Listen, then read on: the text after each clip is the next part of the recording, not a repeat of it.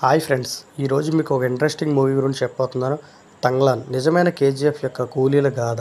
Cinema release అవ్వకుండానే ఆస్కర్కి సిద్ధం. అసలు ఎవరి కూలీలు ఏంటి వాళ్ళ కథ అనేది స్టోరీ. ముందుగా మన ఛానల్ ఇంకా సబ్స్క్రైబ్ చేయని వారు ఎవరు ఉంటే సబ్స్క్రైబ్ చేయండి.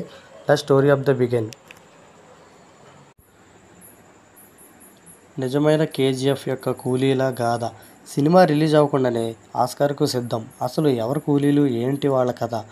పారా రంజిత్ దర్శకత్వంలో స్టూడియో గ్రీన్ మరియు నీలం ప్రొడక్షన్ నిర్మాణంలో చియాన్ విక్రమ్ నటిస్తున్న చిత్రం తంగ్లాన్.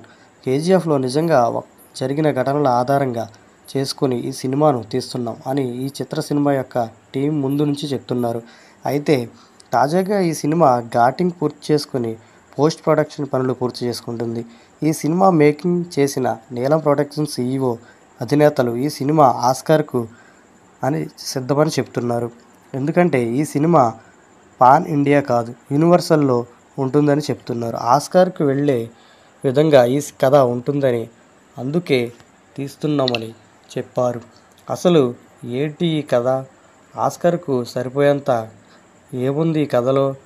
అది తెలియాలంటే మనం కొంచెం భారతదేశపు చరిత్రను నెమరు వేసుకోవాలి అది పద్దెనిమిది వందల ఎనభైలో బ్రిటిష్ సామ్రాజ్యం భారతదేశాన్ని పరిపాలిస్తున్న కాలం. కర్ణాటకలోని కేజీఎఫ్ కోలార్ గోల్డ్ ఫీల్డ్లోని బంగారు ఖనిజాలను వెలికి తీయడానికి బ్రిటిష్ సామ్రాజ్యం భారీగా కూలీలను నియమించుకునేది. ఆ కూలీలు ఆదిమ జాతికి చెందిన పారాయన్స్. భారతదేశ చరిత్రలో అంటరాని వారిగా నీచులుగా వెలివేయబడ్డ జాతికి చెందిన వారే పారాయన్స్.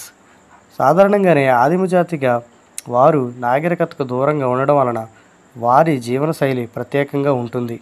వీరి బట్టలు మోకాలి పైకి కట్టుకోవాలి. ఆకర్షణీయమైన దుస్తులు ధరించరాదు. అలాగే వీరి తలలు సిక్కాలుగా ముడివేసుకొని ఉండేవారు. వారి తలకట్టు కూడా ప్రత్యేకంగా ఉండేది. కఠోరమైన పనులకు ప్రత్యేక ఈ పరాయన్స్. ప్రజలు వీరు కేజీఎఫ్ గనుల్లో కూలీలుగా పనిచేస్తారని చరిత్ర చెబుతుంది.